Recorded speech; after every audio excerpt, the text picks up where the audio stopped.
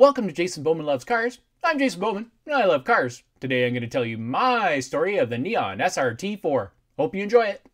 My first experience with the Dodge Neon SRT4 is when they were new. I was working at a speed shop. A customer wanted to put a muffler on it because he thought it was too loud. The SRT4 came from the factory basically straight piped after the cat. Out of principle, I suggested he may have bought the wrong car. This infuriated him. Going against my religious beliefs, I investigated it, and there didn't seem to be a bolt on solution at the time. He probably didn't believe me and refused to take no for an answer. He came back when I wasn't there. My coworkers ordered him a cat back for a regular neon, which of course didn't bolt on. Not sure if that wanker ever silenced his SRT4. I sure hope not. 19 years later, the SRT4s are coming up in my Facebook Marketplace search for under $10,000 in manual transmission. It may be time for reignited interest. Like many performance cars, the SRT4 had humble economy car roots. Dodge transformed the cutesy Neon into a fire-breathing turbocharged monster. The SRT4 was developed in-house by PVO, Performance Vehicle Operations. In 2004, PVO was renamed SRT, Street and Racing Technology. The 4 in SRT4 refers to the four cylinder engine. The executive vice president of Chrysler Product Development and Design, Tom Gale, attended the 1998 SEMA Specialty Equipment Market Association show in Las Vegas. Gale wandered around the show and formulated a list of mods he saw in the tuner cars at the show. The plan was to build a factory tuner car out of the humble Neon. Gale was no stranger to building high performance cars. You may have heard of another car he helped develop the Dodge Viper. Gale assembled a group of yum, yum, Hi, I'm Jackie McLaren. Please remember to like and subscribe and comment to Jason Bowman Loves Cars. Gale assembled a group of young, enthusiastic car enthusiasts from within the Chrysler and Dodge ranks, which had first hand knowledge of tuning neons. The team built a concept car in just four months. The 2000 Neon SRT concept 2 liter 16 valve four cylinder made 208 horsepower and 180 foot pounds of torque at the crank thanks in part to the Eaton supercharger pumping 11 psi a boost. The SRT concept put down 179 horsepower and 149 foot-pounds of torque to the wheels when Sport Compact Car magazine tested it in the February 2001 issue.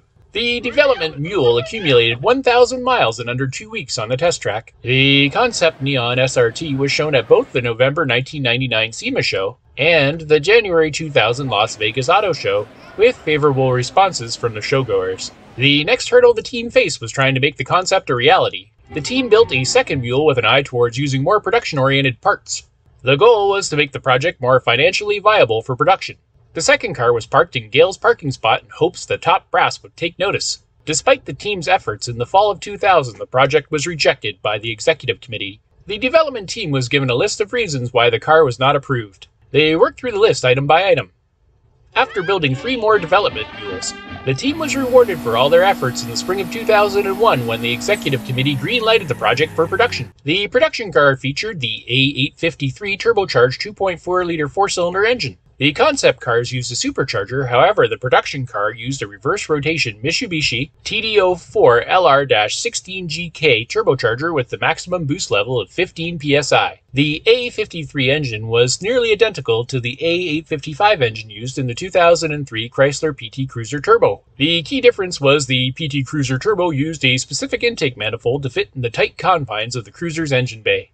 Backing up the engine was a new Venture T850 5-speed manual transmission. The tranny was based on a unit found in the European market turbo diesel minivans. For SRT4 use, it was given a Sachs performance clutch and equal-length half shafts. The SRT4 suspension used stiffer springs, Tokico struts, and beefier front and rear sway bars. SRT4 also got a quick ratio steering rack, cruiser steering knuckles, and an updated subframe. The package also got bigger binders. The fronts were an extra thick 11 inch diameter vented disc to prevent warping and the rears were a 10.6 inch non vented disc. The calipers were single piston on all four corners. The wheels were 17 by 6 inch cast aluminum with 205 50 17 Michelin Pilot Sport performance tires. SRT4s got a specific body kit and a giant rear wang.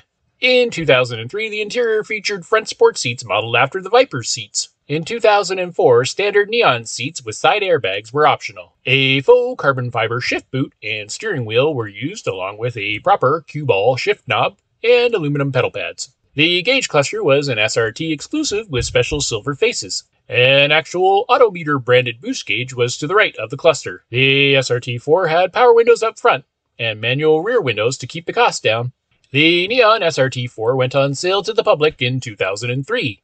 It was the second quickest Chrysler Dodge you could buy that year, second only to the mighty Dodge Viper. The 2004 SRT4s got more power and torque and a Quaife limited slip differential to harness it. The power bump came from larger injectors and new engine management software. To get the power to the ground, Dodge used BF Goodrich G Force TA KDW 2 ultra high performance tires. Dodge peeled the neon badges off the SRT4 for 2004, In the bin. Marketing the car simply as an SRT4. Dodge only expected to sell 2,500 units per year.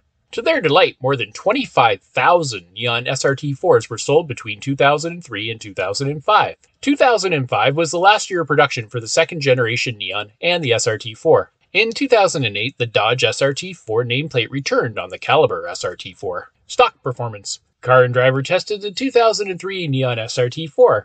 It did 0 to 60 in 5.6 seconds and did the quarter mile in 14.2 seconds. The stock quarter mile times were all over the place because I imagine launching one of these is a little tricky. The 0 to 60 times database has the 2003 Dodge Neon SRT4's 0 to 60 mile per hour listed at 5.5 seconds and the quarter mile listed at 13.9 seconds. They also list the 2004 Dodge SRT4 0 to 60 mile per hour in 5.2 and the quarter mile in 13.7 seconds. Aftermarket performance. There is a thriving aftermarket for the SRT4. Free flowing exhaust. Cold air intake. Computer tune. Turbo upgrade. Suspension goodies. Lowering springs. Coilovers. Beefier sway bars. Control arm bushings. Racing.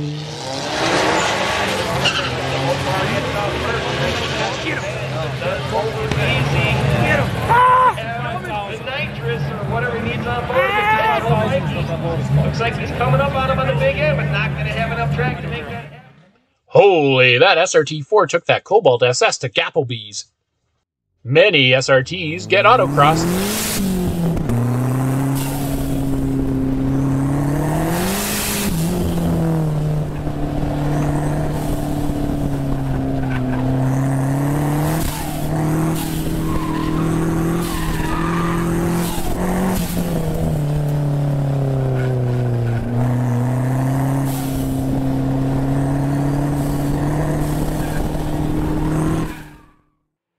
They're great for track days.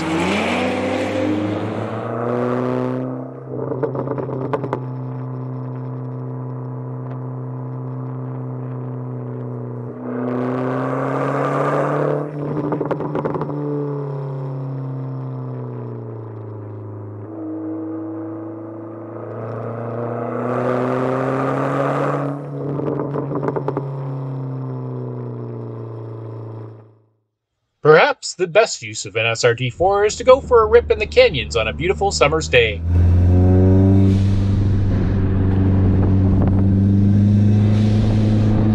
Wait, what was that? Holy crap, another jackalope sighting!